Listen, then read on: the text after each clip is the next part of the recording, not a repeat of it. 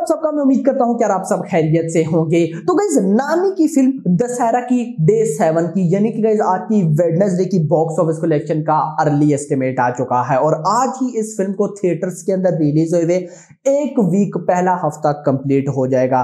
उसी के साथ पहले छह दिनों के अंदर और कल डे सिक्स पे क्या ऑफिशियल बॉक्स ऑफ़िस कलेक्शन है ये वो भी बताता हूँ लेकिन उससे पहले छोटी सी रिक्वेस्ट जल्दी इस चैनल को सब्सक्राइब करें ताकि ऐसी अपडेटेड वीडियोज़ में आपको लाके देता रहूँ। तो आइए जानते हैं। तो सबसे पहले मैं आपको बताता चलूँ दशहरा की कल डे सिक्स पे, यानी कि ट्यूसडे पे ऑफिशियल बॉक्स ऑफ़िस कलेक्शन हुई है।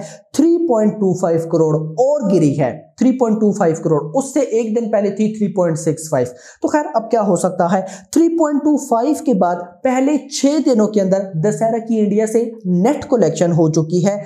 64.55 करोड़ और इसी के साथ फ़िल्म नेट कलेक्शन में अपना बजट रिकवर कर चुकी है। भले अब इसकी कलेक्शन डाउन है, कोई इशू नहीं, क्योंकि गई 65 करोड़ इसका बजट था और ऑफिशियल कलेक्शन 64.55 मतलब एक हफ़्ते से पहले ही, पहले छह दिनों के अंदर दशहरा ने नेट कलेक्शन में अपना बजट रिकवर किया। तो गाइस ब्लॉकबस्टर यस गाइस इसके बाद 76 करोड़ की ग्रॉस कलेक्शन 17.50 ओवरसीज आया टोटल हो। जाता है 93.70 करोड़ ये ट्रेड के नंबर हैं। मे, मेकर्स के में भी 94 95 करोड़ हो सकते हैं। तो लगभग आप कह सकते हैं कि 95 करोड़ पहले छह दिनों के अंदर गई दशहरा कमा चुकी है। यस लेकिन अगर मैं बात करूँ आज की डे सेवन की तो आज के अर्ली एस्टिमेट के अकॉर्डिंग ये फ़िल्म 2.50 टू थ्री करोड़ कमाने वाली है, ढाई से तीन करोड़ के मिड में कमाने वाली है। मतलब आज के दिन ये अच्छे खासे डिप में जा रही है और आज वेडनेसडे है, कल थर्सडे और डे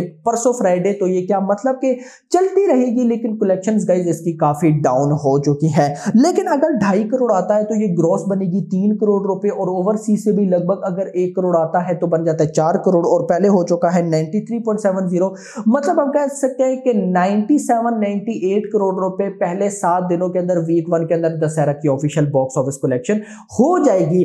अब गई इसके बाद देखिए, अगर मैं बात करूँ दशहरा की, क्योंकि ये पैन इंडिया फ़िल्म थी तो सिर्फ़ तेलुगु लैंग्वेज में ये हिट हो पाई है। बाकी सारी की सारी लैंग्वेजेस में इसको रेस्पॉन्स नहीं मिला। लेकिन मज़े की बात कहीं पता है क्या है?